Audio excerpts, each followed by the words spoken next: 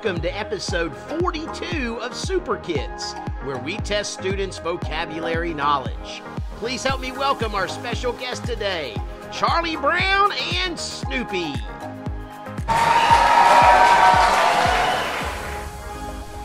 Here's today's definition ruined.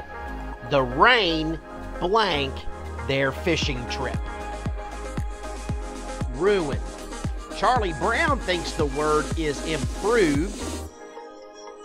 And Snoopy thinks the word is spoiled. Dance with the character that you think is right and see if you're correct.